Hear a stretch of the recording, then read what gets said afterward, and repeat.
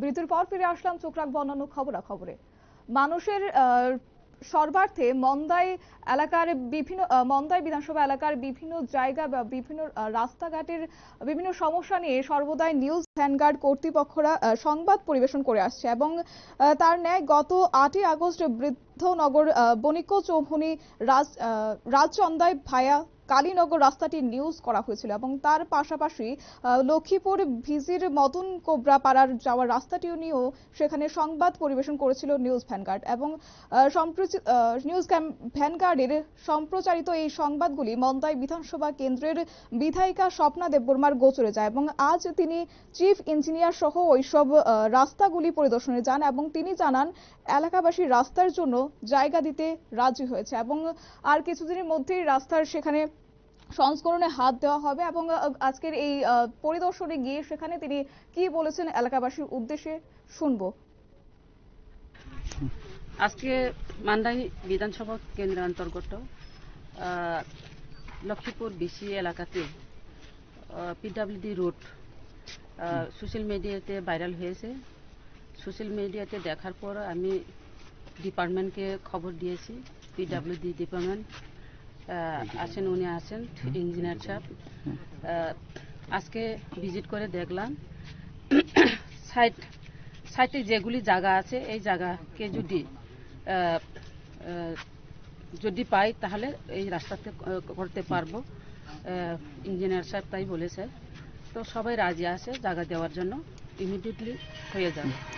এটি রিফারিংটাও একশো মিটারের জায়গা কেন এভাবে পেন্ডিং করে দিয়ে গেছে?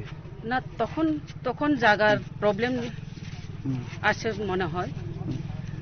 মালিকরা জায়গা দিতে রাজি হয়নি তাই করতে পারেনি।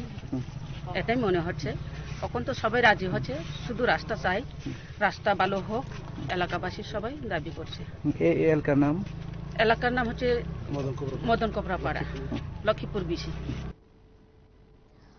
মন্দাই বিধানসভার যিনি বিধায়িকা রয়েছেন, ওনার বক্তব্য আপনারা শুনলেন এবং তিনি আজ পরিদর্শনে গিয়েছেন সেই এলাকায় এবং গোটা বিষয়টি তিনি বিস্তারিতভাবে পরিদর্শন করেন সেখানে এবং তিনি জানান যে এলাকাবাসী রাস্তার জন্য জায়গা দিতে রাজি হয়েছে এবং কিছুদিনের মধ্যেই তিনি রাস্তার কাজ শুরু করবেন। কিছুদিন আগে রাস্তা সংস্কারে একশো মিটার করে জায়গা বাকি ছিল তিন জায়গায় এবং বিধায়িকা জানান যে জায়গা দিচ্ছিল না বলেই সেখানে কাজগুলি সম্পূর্ণ করা হয়নি এবং তবে গ্রামবাসীরা জানিয়েছেন ইতিমধ্যে যে আগে রাস্তাঘাট সঠিকভাবে করা হোক রাস্তার কাজ এবং তাহলে এলাকাবাসীরা পরবর্তী সময়ে জায়গা ছেড়ে দেবে এবং আজকের এই গোটা বিষয় সম্পর্কে আমাদের সাথে এই মুহূর্তে টেলিফোনে যুক্ত হয়েছেন ধীমান ভৌমিক। ওনার কাছ থেকে আজ বিস্তারিত সম্পর্কে জানার চেষ্টা করব। ধীমানদা কি রয়েছে?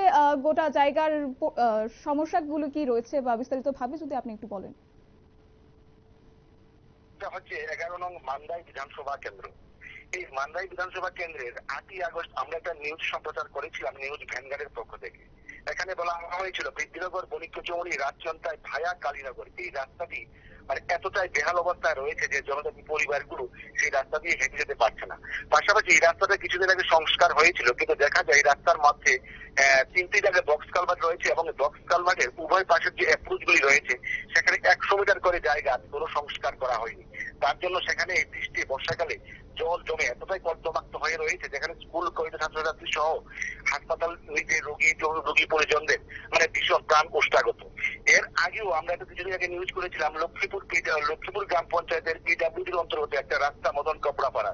সেই রাস্তাটাও খুব বেহাল অবস্থায় রয়েছে। এইসব নিউজ ভ্যানগেটে সম্প্রচার হওয়ার পর, এই নিউজগুলো সোশ্যাল মিডিয়ার মাধ্যমে ছড়িয়ে এটা এগারো মান্দাই বিধানসভা কেন্দ্রের বিধায়িকা স্বপ্না দেববর্মার গোচরে যায় এবং তিনি নড়েচড়ে বসেন এবং আজ সতেরোই আগস্ট তিনি পিডাব্লিউডির চিফ ইঞ্জিনিয়ার সহ মান্দাই ব্লকের বিডিও সহ তারা এবং গ্রামবাসীদের আশ্বস্ত করেন যে জায়গার জন্য সেই রাস্তাগুলি তারা সংস্কার করতে পারছে না। কারণ বক্স কালভার্টের এখানে যদি সংস্কার করতে হয়, যে একশো মিটার জায়গাগুলি বাকি রয়েছে, সেখানে কিছু জায়গা ছাড়তে হবে জনজাতি পরিবারগুলো।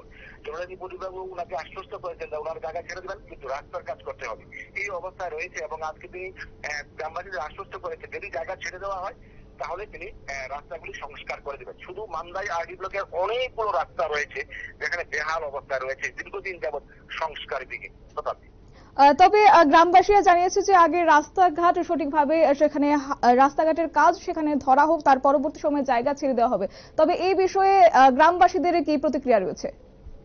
হ্যাঁ গ্রামবাসীদের প্রতিক্রিয়া একটাই। এখানে একটা জিনিস বলে রাখা ভালো, একটা আগে বলে রাখি। এখানে এই আঠারো তেইশ নির্বাচনের পরে রাজ্যে পদ পরিবর্তন হয় মানে আগের সরকারি বহাল রয়েছে। কিন্তু এখানে ফ্যাক্টর হয়েছে, এই যে মান্দাই বিধানসভা কেন্দ্রের যিনি বিধায়িকা রয়েছেন, উনি হচ্ছেন ত্রিপুরামথা দলের আর রাজ্যের শাসক দল, সরকার হচ্ছে বিজেপি আইপিএফটি জোট সরকারের। এখন প্রশ্ন হচ্ছে মান্দা এলাকার বিভিন্ন রাস্তাগুলির সংস্কার বিগত ছয় বছরও হয়নি, প্লাস বর্তমান সরকারের যে আট মাস চলছে, সেখানেও কোনো রকম পদক্ষেপ নেওয়া হয়নি।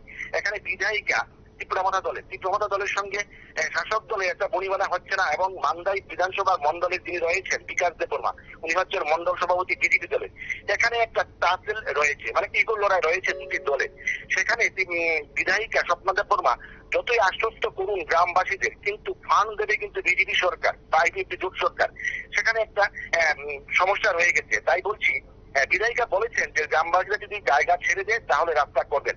কিন্তু তিনি কতটুকু করতে পারবেন সেটা সময় বলবে। শতাব্দী একেবারে ধন্যবাদ দাদা আপনাকে। এই মুহূর্তে আমাদের সাথে টেলিফোন লাইনে যুক্ত ছিলেন ধীমান ভৌমিক এবং আমরা ওনার সাথে বিস্তারিতভাবে ওনার সেই জায়গা সম্পর্কে জানার চেষ্টা করেছি। এবং অর্থাৎ বলা যায় যে দীর্ঘদিনের এই সমস্যাটি আজ বিধায়িকা চম্পা দেববর্মা সেখানে পরিদর্শনে যান ত্রিপুরা মথা দলের বিধায়িকা চম্পা দেববর্মা আজ পরিদর্শনে যান এবং গোটা বিষয়টি বিস্তারিতভাবে তিনি পরিদর্শন করেন এবং তিনি গ্রামবাসীদেরকে আশ্বস্ত করেছেন যে গোটা বিষয়টি পরিদর্শন করার পর তিনি আবারও সেখানে রাস্তার কাজ তিনি হাত লাগাবেন এবং পরবর্তী সময়ে রাস্তাটি যেন ঠিকঠাকভাবে চলার যোগ্য হয় সেই বিষয়ে তিনি খতিয়ে দেখবেন। এই মুহূর্তে নিয়ে ছোট্ট একটি বিজ্ঞাপন বিরতির সঙ্গে থাকুন।